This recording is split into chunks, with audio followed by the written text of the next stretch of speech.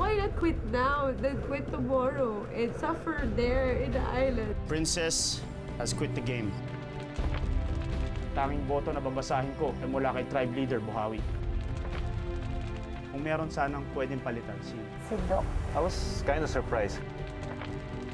I love you, Doc. Maraming maraming salamat sa nagawa mo para sa tribo natin. Pahinga ka na, season. Bye. I'm gonna quit now. nakapag-decide na ang mayor ng iyong tribo. Nagsalita na ang iyong tribo. Siguro hindi para sa akin ito. Bunraksa.